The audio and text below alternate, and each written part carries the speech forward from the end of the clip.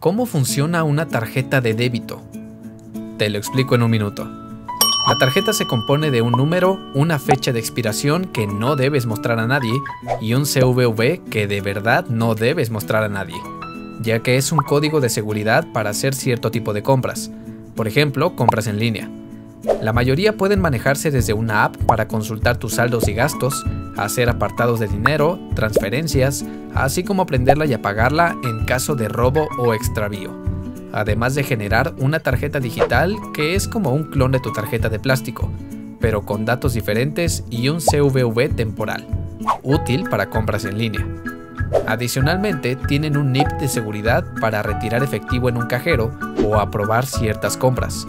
Y la gran ventaja de estas tarjetas es que funcionan literalmente como un monedero digital, ya que te permiten gastar solo el dinero que le hayas metido o el que te hayan depositado sin adquirir ningún tipo de deuda a diferencia de las tarjetas de crédito. Pero eso es tema para otro video. Hasta la siguiente semana.